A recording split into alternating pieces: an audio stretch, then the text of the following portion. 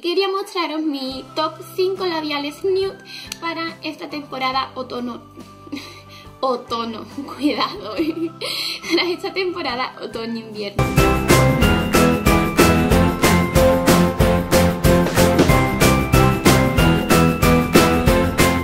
Hola, ¿qué tal estáis? Bienvenidos un día más a este pequeño espacio. Espero que todo os vaya genial. Yo estoy muy contenta de estar aquí con ustedes otro día más. Y el vídeo de hoy, bueno, la habéis podido ver por internet porque ya la han hecho varias chicas.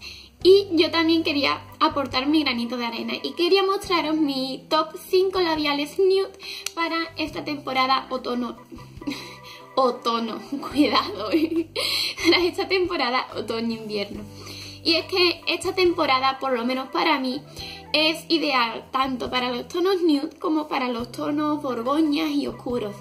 Y en esta ocasión pues os quería enseñar los nude y, si queréis saber mi top 5 labiales de tonos más oscuros para el otoño-invierno me lo decís por aquí por los comentarios para yo grabarlo y mostraroslo. Y como me enrollo tanto, tanto, tanto, prefiero dejar ya de hablar para empezar a mostraros los labiales.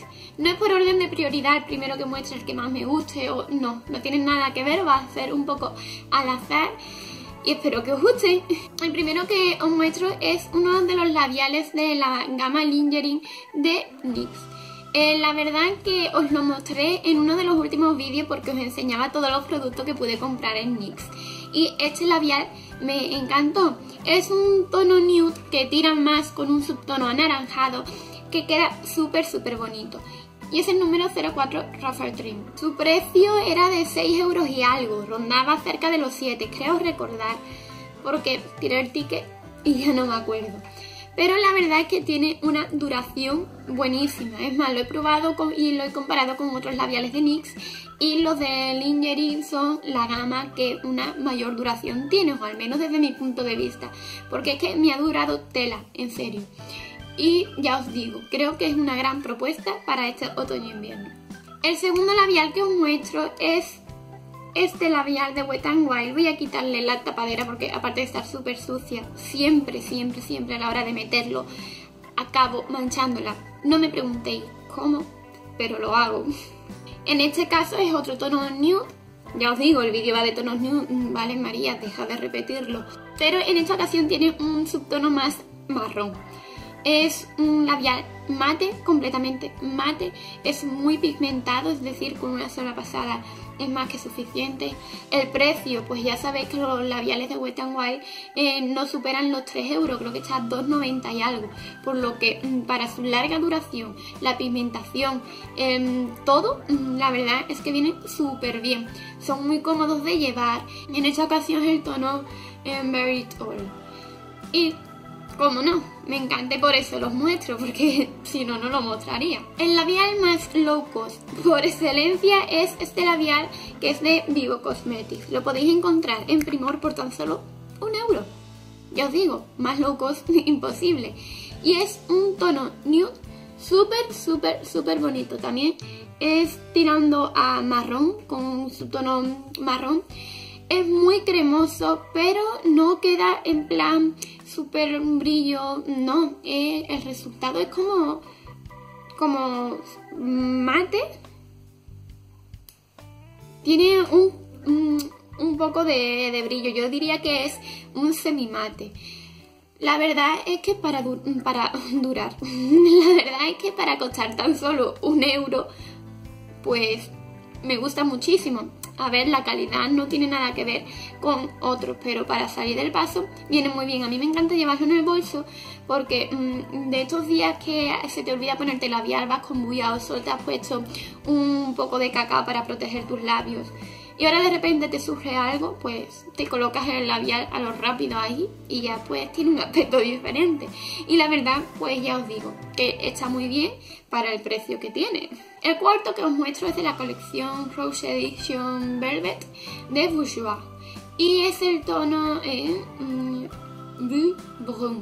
No sé si lo digo bien, ya en el otro vídeo me pasó que yo el francés no sé pronunciarlo muy bien. Os pido disculpas. Y en esta ocasión eh, un tono es un poco más subido que los restantes con los otros que os he mostrado. No obstante, es, mm, no es ni rosado. Yo creo que el subtono es como más rosado comparado con los otros que eran un subtono más anaranjado o marrón. Y me encanta la textura porque es súper sedosa, te lo aplica en los labios y es una capa, ya os digo, súper suave, cómoda de llevar, parece que no se nota que llevas labial. Eh, la duración es bastante buena, eh, es mate y la verdad es que también está muy bien. Estos labiales tienen un precio más elevado. Creo recordar que es unos 12 euros. Yo lo pude adquirir gracias a la promoción que tuvo Primor, que era el labial a la mitad de precio o algo así, y por eso me hice con él, porque yo personalmente no me puedo gastar 12 euros en un labial. En esta ocasión me gasté 12 euros, pero me llevé dos labiales. Y este es el que os propongo como otro de los tonos míos. Y por último os hablo de un nude, pero que en esta ocasión no se trata de una barra de labios, de un labial líquido, sino que se trata de un gloss.